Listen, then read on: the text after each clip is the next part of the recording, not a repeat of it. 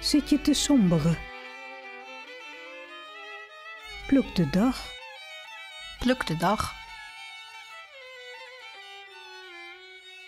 Pluk de dag. Dat is een hele merkwaardige oproep. Pluk de dag? Want iets plukken, een bloem, betekent dat je het weghaalt uit de tuin of een andere semi-natuurlijke omgeving, de akker. Dat je mee naar huis neemt en in een vaasje met water op tafel zet. En dan gaat kijken, wachten tot hij doodgaat. Kan een paar dagen duren, maximaal een week. Plukken is eigenlijk moorden, hè? Pluk de kerstboom. Nee, laat hem staan.